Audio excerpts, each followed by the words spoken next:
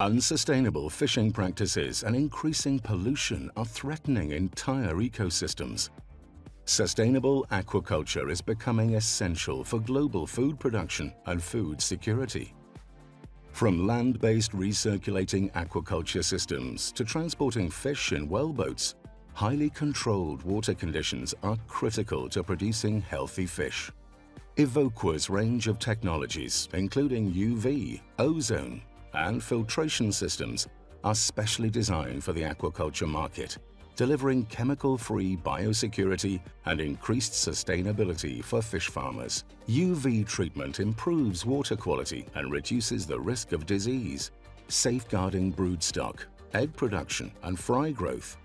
Ozone is a powerful, safe solution for the removal of farm water impurities, such as organics, pesticides and nitrites, and leaves no harmful residuals behind.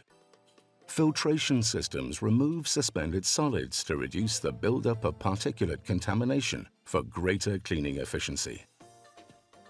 Evoqua's efficient and maintenance-friendly water treatment systems help fish farms to achieve optimal water conditions while ensuring sustainable operations. Transporting fish in wellboats between onshore and offshore farming facilities presents its own set of challenges as well. Our technologies treat the transport water, allowing safe discharge back into the environment. Ozonated seawater efficiently cleans tanks and wellboats, further protecting the fish.